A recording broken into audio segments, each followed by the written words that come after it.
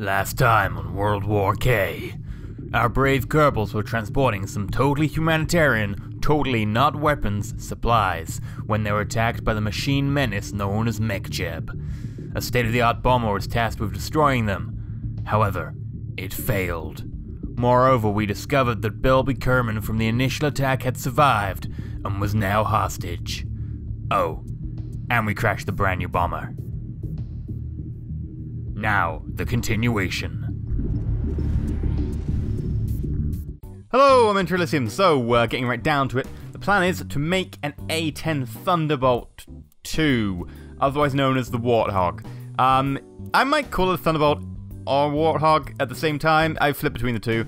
Uh, colloquially, it's known as the Warthog. Actually, it should be called the Thunderbolt, but eh. Anyway, what it is, is it's close air support plane, if you don't know. It's basically built around the idea of have a gigantic Gatling cannon at the front, and that's pretty much what it's famous for. I want to build our version, though, with two Gatling cannons, because we can. So I'm going to try and put these two on and make sure they can somehow sort of not spread the fire. Like, yeah, this, this is currently... We're going to hit two different targets if we're really clever, or most of the time just miss completely. So let's try this again. Um, I'm trying to think of a way we can actually get these together, and I think the probably the easiest way is not to actually use the cockpit, because you get like 5 degree increments of turning, and the cockpit isn't that. So instead, and you know, this is a really good tip by the way, if you're having that problem, use part clipping, right? So now we've got two part clipped attached to a girder inside, and they should fire directly forwards. Now of course the A10 Warthog only has one, uh, Gatling cannon. It's it's a 30 millimeter Gatling cannon. Don't get me wrong, it's not bad. And you know the plane has to be pretty much designed around it. And this Gatling cannon is a it's, it's a Gau 8, 30 millimeter Gatling cannon. It fires depleted uranium rounds. It's designed to take out tanks. And it can penetrate something like 7 centimeters of armor from a distance of 500 meters. So you're not talking a pea shooter. Now, of course, you know, it has you know, limited ammo, but you still have about, I think, about 20 seconds worth of ammo if you fire, you know, in a continuously. Not that you would, because you'd, you know, ruin the barrel and you'd have to replace the barrel pretty damn soon. But the, the A-10 Warthog was pretty much designed about 40 years ago to be a close-in weapon system to really support ground troops the whole sort of combined arms tactic is to really have your, your forces working together. And a great way to support ground troops is with air force. And if you've got enough air power, then sure, go ahead. And the problem is that with fighters of the day back then, fighters were going a little bit too fast, and it made it hard to hit, you know, slow moving targets. If you're in a fighter going at 300 miles an hour and you want to shoot a tank going 15, you're going to have a very minimal amount of time on target to be able to shoot it. Now, of course, these days you'd have guided weapons, but there are still some issues in, you know, you can jam guided weapons, etc., or you can use, you know, good foliage or whatever, da da da da da. So, to a certain extent, you know, having a giant Gatling cannon from a slow-moving object really actually gives you an advantage, and that's what the the, uh, the Warthog was really designed around: being slow-moving, being maneuverable at slow speeds. And that's weird because normally you expect, oh, high speeds is good. No, not really. Now, in this case, you do want it slow, and that means, oh, well, you know, they'll get able to shoot you better, and, you know, you'll, you'll suffer damage and stuff, and obviously this will be terrible. But actually, the, the Warthog is really designed about being incredibly resilient. The Warthog is made of some sort of complicated hexagon structure in its wings to mean that they, they structurally stay sound even when they're damaged, and it can fly with an engine out, it can fly with a tailplane out and a missing part of a wing, and it will still fly and the, the person in the actual cockpit, the pilot, is protected by what is effectively known as a bathtub made of titanium and weighs over half a ton. And this should protect the, the pilot from pretty much anything. So the problem we're having in KSP with this is, of course, the engines on the back there, they're a little bit maybe further up on the Warthog itself. In our version, a little bit further down. Now the problem is because they're mounted above the centre of mass, I've had to tip them down to try and point through the centre of mass. Because in KSP, especially the stock drag model, if you have an engine above the centre of mass, it will push you down. And I'm trying to pull up here, and you see we're having some issues taking off. Which isn't great. Now you can solve this, you can have the engines pointing through the centre of mass, and even though it looks stupid, it would work. The problem is it's kind of hard to get perfect. And we're trying to take off, we're just bouncing a lot. The end of the runway helps, but um, this is me pulling full back on the stick. And let go. No. Pull back on the stick. Pull back on the stick. Pull back. On, we're not even gaining height. Now, now, now we're losing height. Now we're below 80. We're falling fast. We are falling fast. I am glad I've got an eject system. We're going to have to use it. And boom. Well, that was expensive. Hmm. Now, let's try again, and uh, I'm going to hope that now if you see the engine's pointing a bit more down. I'm still trying to pull up, and we're doing a little bit better. We're actually climbing, but at such an insignificant rate. This is me full back on the stick. This would be like the world's biggest loop, and I let go, and suddenly we're pointing downwards. Pull up, pull up, pull up. Let's try and pull up again. Come on, pull up, pull up, pull up, pull up, pull up. We're gonna have to. We're gonna have to eject. We're not gonna make this. We need to eject. I like the HUD, by the way. Having the uh, whoop. There we go. Uh, having the velocity vector mark does show us that yeah, we are totally gonna crash. I like that. That's a very nice feature. Okay. Try again. Right, this time you can see I've just moved the engines down further down the side and point them even further down a little bit. Hopefully this will work. It looks less like the A10 Warthog now with the engines very much on the side of the craft as opposed to sort of halfway up the side, halfway on top. And try and take off as fast as possible. Ooh! Ooh, we actually took off! And this is me pulling full back. Let go. Ooh, pull full back. Full back.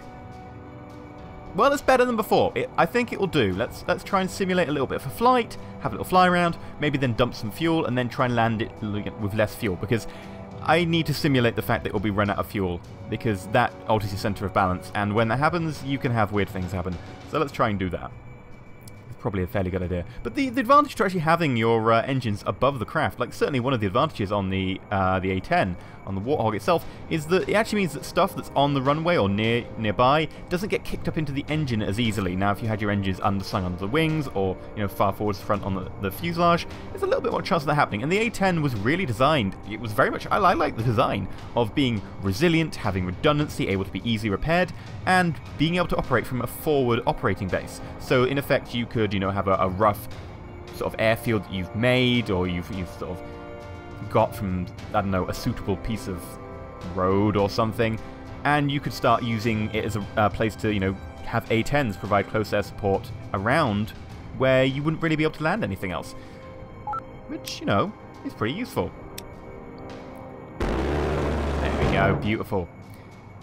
Now, it must be pointed out that when the uh, the actual real A-10 fires its main weapon, it actually loses a few miles per hour speed because of the uh, the ridiculous amount of muzzle velocity and the ridiculous shells that the depleted uranium Gatling cannon takes. These shells are about 30 centimeters long. That's a foot for those of you who don't know how long 30 centimeters are. And they weigh over two-thirds of a kilo each. Yeah. And this thing fires almost 4,000 rounds per minute. They're something to behold. So I've also equipped her with a couple of uh, Hellfire rockets. The, the A-10 is perfectly able of mounting some actual ordnance as well. I mean, the A-10 can actually carry bombs if it wanted, but it very rarely does.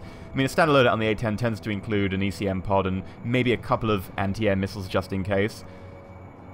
And while it may be designed entirely around the Gatling cannon, it more these days does carry guided missiles because of the ability to just stand off and fire them. And turning is very slow and I'm watching my velocity vector being like, yep, that's that's a hill. Ugh. Turning is very slow. Hmm. I think to make this better, we should have just had more wings. I'm going to leave it as it is, I think. It's It operates, it looks like the A10, which really fulfills my criteria. But more wings would certainly help. More lift force, more, you know, ability to turn, catch the air. Hmm. Anyway, let's start dumping some fuel and simulate the, the fact that, you know, we're coming back from a mission and we're maybe a bit fuel light. And we fired off our rockets, so we're now payload light as well. We fired off a bit of our ammunition. Pretty good. I want to make sure I keep some fuel. Got to not let that run out. That would be bad. And also, by doing this, we can check that the fuel is actually flowing correctly. Hmm, seems okay. Alright. Just coming to land, and we'll, we'll need to go a bit to the left, I think. Now, the problem is, of course, because we've got this horrible turning circle, which I dislike. That's not like the A-10. The A-10's actually fairly nippy uh, in terms of its, you know, ability to maneuver at uh, low speeds and low altitudes. We aren't. And it's going to be really annoying trying to come back from our strafing pass because we're going to have to turn around for several kilometers, which is going to be frustrating, to say the least. Okay, let's try come on over a bit to the left. It seems to be handling fine in terms of the uh, the lack of fuel now. I was expecting it to sort of have some really weird wobble, and especially since we were only just pitching up, I was expecting it to like not pitch up at all or something. It's actually pitching up fine. I don't think there's any real noticeable difference it's handling at low fuel, which, you know, isn't great because it acts pretty poorly anyway, but eh, at least isn't any worse. We are fairly low and fairly slow. I think we might need to engage the engines in a second if we uh, don't speed up. Hmm. We're doing okay for glide. Not great, but okay. Although look at that angle of attack. We're up like 15 degrees and we're only just getting our velocity vector on the horizon. Mm, ooh, ooh. I don't think we're going to make it. The lip on the runway is going to catch us. We need to kick in the engine slightly. Come on. That's better. Try to pull a bit over to the left. Come on, left. There we go. Velocity vector is on the runway. We can turn the engine down and we can try and settle. I think we'll be good here. There we go. And yeah, the, A the A10 is, of course, designed around having a fairly short takeoff and landing. Not ridiculously short, but a fairly short so it can operate from those forward operating bases I mentioned. And it looks like we aren't doing too badly on the takeoff, and the landing is... Well, it could certainly be faster if we had better brakes, but... Eh, I guess them's the brakes. I hate myself. And we can also propel ourselves backwards for taxiing using our cannon, although that's probably not recommended. The Kerbals are probably going to have to complain about the state of the runway now. Hmm. Anyway, we are now at the target area. I did the flying off camera because it's a long way to fly. Um, lovely cloud layer. I was having some real problems at altitude of actually keeping this thing up. Um, you know the whole, oh, it's very hard to actually pitch upwards. And when you get to high altitude, it just doesn't pitch up at all, and you end up sort of falling out of the air. It's weird. Anyway, I've inverted now so that we can uh, pull down and around. And... Ooh, starting to pull a little bit. I'm going to wait until we're, we're sort of coming in over the sea for our first strafing run. For this loadout, I've equipped two Hellfires and two bombs. I could have equipped more missiles, or more bombs, but I decided to keep a bit of a varied payload. I didn't want to go with anything too powerful, um, especially, you know, I was a bit concerned about the weight, uh, but mainly because I want to actually show off the, the A-10 uh, having its, you know, ridiculously awesome 30mm Gatling cannon. That's really what it's built around. That's really what I want to test out on these armoured tanks. It's what it's designed to fight against. So we'll use the Gatling cannon, and the missiles and the bombs are there really as just backup. Uh, I don't expect to have to use them, but if we do, then, you know, cool. So we've got just the Hellfires. Short range, not too explosive-y, but, you know, they're nippy, they can maneuver fairly well, should be able to hit the target. And the bombs, which, well, we proved last time that carpet bombing was pretty awful. Maybe with a sort of a nice low and slow approach, maybe these will work. Now, these bombs are snake eye bombs, so they will be, you know, you can drop them at a low altitude and they will slow themselves down with these little deployable grid fins that slow their descent. So, shall we go to the target? The acceleration, this has been a fairly slow uh, approach.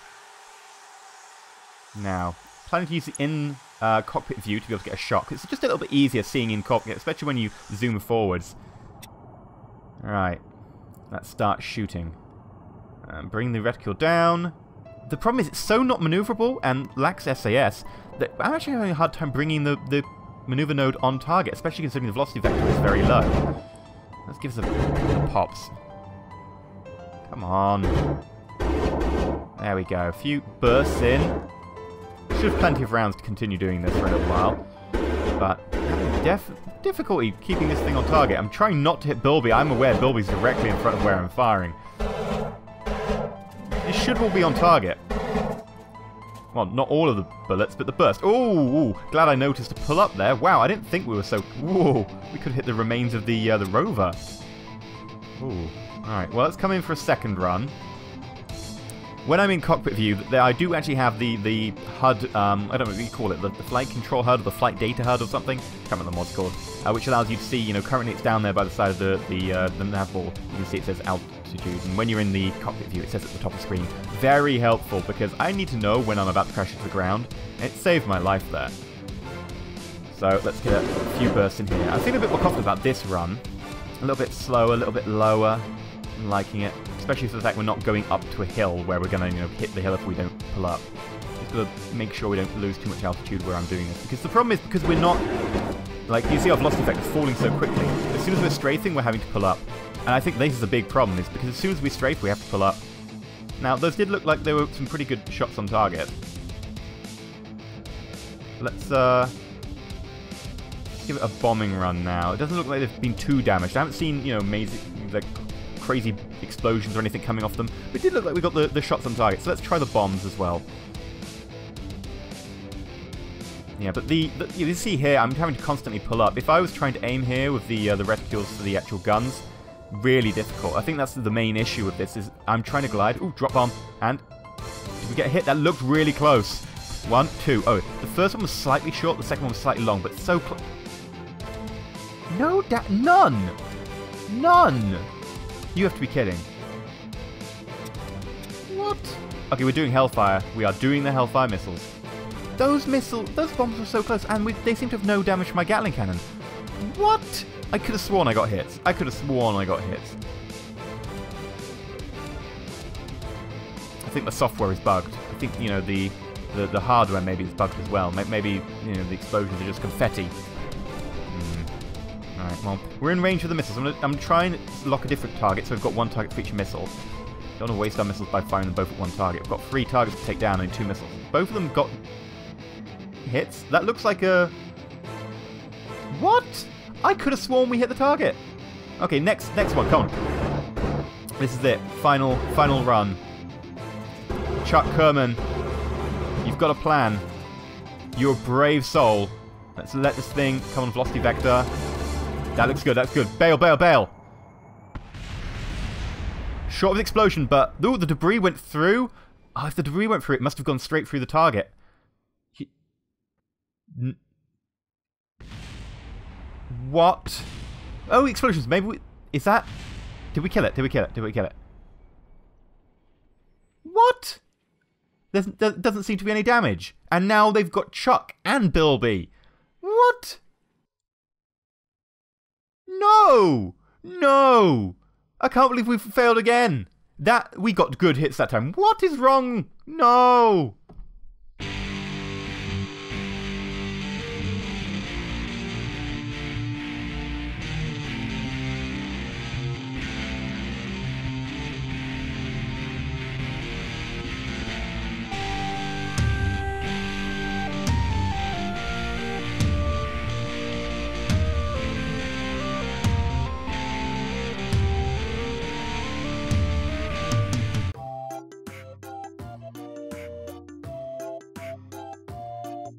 Well, at least part of us survived.